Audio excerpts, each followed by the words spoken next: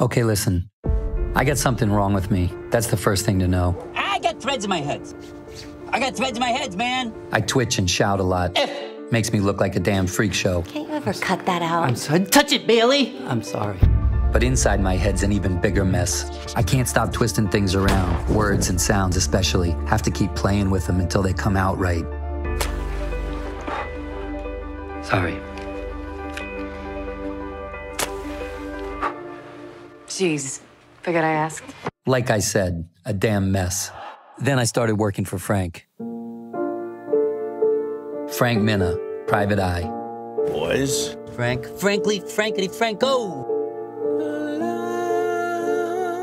He's the one who taught me how to use my head, turn it into a strength. He gave me a place in this crappy world until I screwed up. Brooklyn,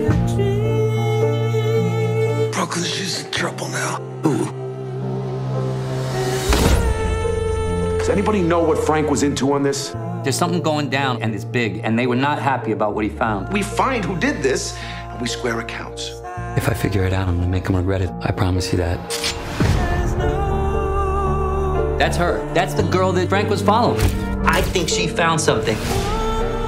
What happens to poor people in this city wasn't news yesterday and it won't be tomorrow. Where's everybody go? Mostly just disappear. This town is run by Moses Randolph.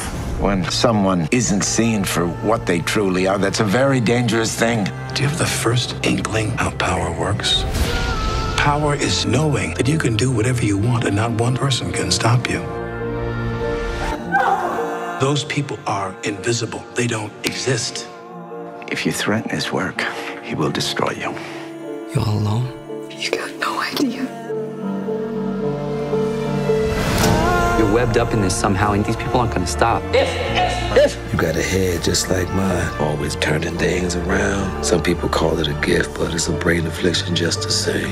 You remember what I said? She doesn't know. She doesn't know. What don't I know?